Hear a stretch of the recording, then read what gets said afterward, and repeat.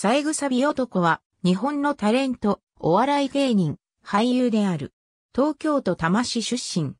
身長170センチメートル、体重60キログラム、血液型 A 型、株式会社 TAP 所属。芸風は AI スピーカーを相方に見立てた掛け合いの漫才、サーフィンをしながらのコント。幼少期から目立ちたがり屋で小学校高学年からスケートボードに夢中になる。この頃音楽の授業で自身の歌声を褒められ漠然と歌手に憧れていた卒業アルバムの将来の夢に芸能人になると書かれている。中学2年生の時家族で行った伊豆の海で初めて見たサーフィンを簡単そうだと思い母親にサーフボードなどの道具をねだり、サーフィンスクールを受講。この時の感想は立つのは簡単だったが技ができないと思ったそう。それ以来、東京の多摩から週末は小田急線で湘南の久毛沼海岸に足しげく通いサーフィンの大会にも出場するまでに上達していった。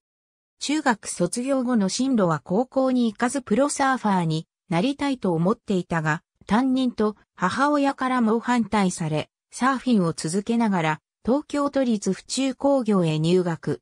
高校時代も積極的にサーフィン大会に出場し、ンサ全日本学生サーフィン選手権大会、高校生の部で優勝も果たしている。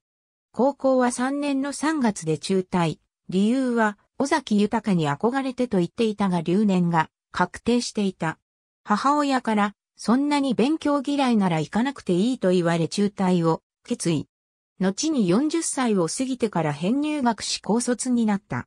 中退後自身の進路を真面目に考えた結果、プロサーファーでは、サーフィンの市場が小さく稼げないことを悟り、憧れていた歌手の道へと、ジャパンアーティスト音楽学院に入学、ボーカルレッスンを始める。週3回のレッスンに通うこと3年の頃校長から、なぜかチームオーガスという俳優の事務所を紹介され所属となった。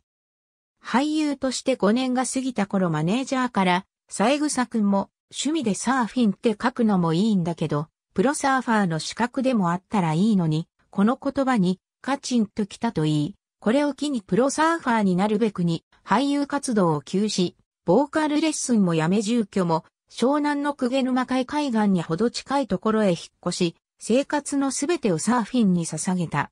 結果サーフィンメーカーのスポンサードを5社獲得するまでになったが、国内プロ連盟の資格は取れなかった。サーフィンの選手として事実上の引退後は再び芸能界へ復帰。昔からお笑いに興味があったことから41歳で太田プロエンタテインメント学院6期に入学。卒業後フリーで活動。AI スピーカーとの掛け合い漫才という芸風が評価され、2019年2月オフィス北野へ正式に所属となる。